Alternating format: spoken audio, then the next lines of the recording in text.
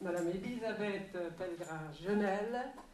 Architecture et urbanisme, ça marche ensemble quand même, même si c'est une histoire d'échelle. Euh, l'urbanisme est, est, je dirais presque un peu plus en deux dimensions. Euh, l'architecte vraiment euh, travaille la forme, travaille juste les espaces. Euh, effectivement, la psychologie du travail, on ne peut pas pratiquer l'architecture sans l'apport des sciences humaines, sans comprendre un peu la demande du client, qu'est-ce qu'il veut, qu'est-ce qu'il projette. Paris-Plage, Patrice Bégaud, lui, le critique fortement, vous moins. Alors, sur quoi, en quoi consiste votre mi-appréciation? Parce que c'est encore gratuit.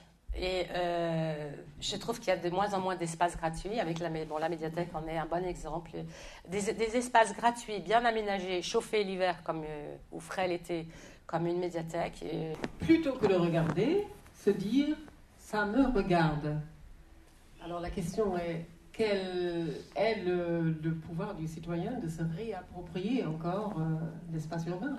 C'est une phrase qui n'est pas de moi, qui est de François Maspero, mais je pense que les citoyens, oui, on a, on a vraiment. Euh, on a vraiment notre mot à dire, hélas, on ne le donne pas tellement. D'abord parce qu'il y a toujours une méfiance, on le voit dans le bureau quand il y a des déménagements. Euh, les, managers ont toujours très très peur de, consulter le personnel. Ils ont toujours peur que tout va exploser, qu'on va demander, euh, qu'ils vont demander l'impossible. Du coup, ils préfèrent passer en force. Disneyland, euh, ça existe depuis euh, un demi-siècle maintenant, euh, inventé en 55. Pourtant, ça séduit. Alors, pourquoi ça marche? On a eu le poids de la télévision où on s'est habitué à des trucs pré-mâchés. on n'a plus tellement envie de, de faire l'effort. On sait que ça va être.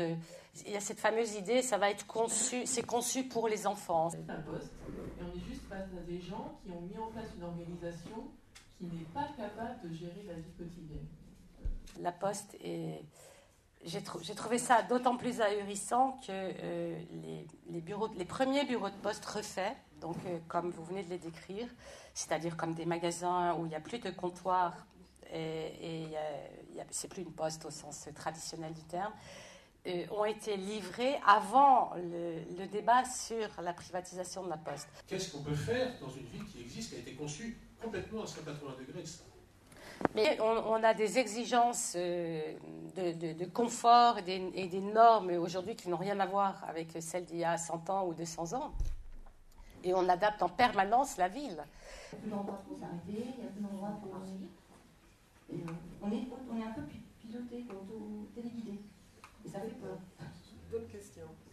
Qu'on ne peut pas se contenter de dire, euh, c'est pas on nous manipule, c'est on nous tente, on nous séduit. C'est-à-dire que tout est organisé sur de la séduction et de la tentation, mais on peut quand même résister. Je veux dire, on n'est pas obligé. Euh, on n'est pas obligé.